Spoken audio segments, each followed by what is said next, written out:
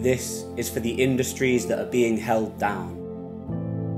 This is for the creatives struggling to wear their crown. What about the makeup artists, the flower arrangers, the ring creators, handcrafting skilled makers, the videographers and wedding cake bakers?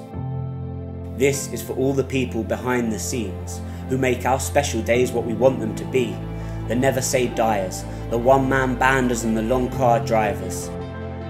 This is for the stylists, the hairdressers and the crowd impressors. This is for the singers, live music and the band, wouldn't a life without art just be so damn bland? This is for the designers, the planners, the overseers and managers.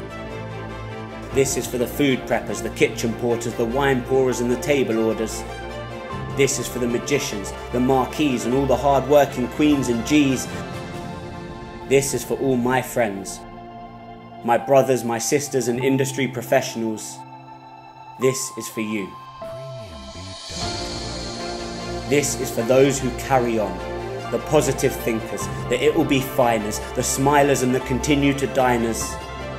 This is for the ones who dared to build something up from nothing, the blood, sweat and tears in support of passion, the emails at midnight to get it done by any fashion. The whatever it takers, the can't sit and waiters, the lifetime grafters and the artistic makers.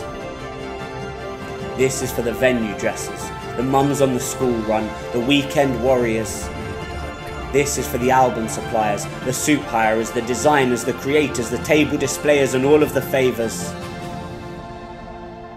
This is for us.